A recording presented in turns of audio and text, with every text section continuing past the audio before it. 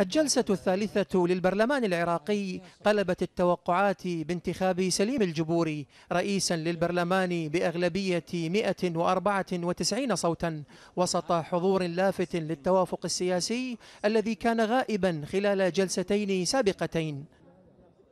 فإذا الخارج اتفقوا على أن يعبروا لهذا البلد احكي لك بصراحة. راح يقعدون يقولون اتفقوا يتفقون.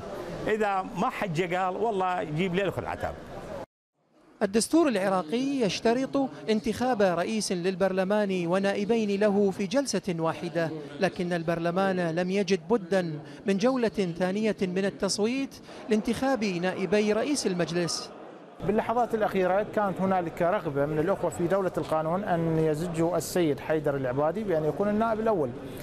فإيثارا من المجلس الأعلى وحسب توجيهات سماحة السيد الحكيم على أنه لا نزاحم أحد من الأخوة في التحالف الوطني خصوصا في دولة القانون وبالتالي نسحب مرشحنا لصالح الدكتور حيدر العبادي. وطبقا لبنود الدستور العراقي لا يزال أمام البرلمان فترة شهرين كاملين لتسمية رئيس الجمهورية وتكليف رئيس الوزراء.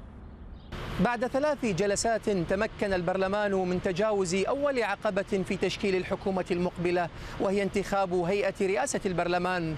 وتشير التسريبات إلى أن الأكراد قد حسموا أمرهم بتسمية برهم صالح لرئاسة الجمهورية لتبقى ثمانية أسابيع أمام التحالف الوطني لحسم أمر مرشحه لرئاسة الوزراء.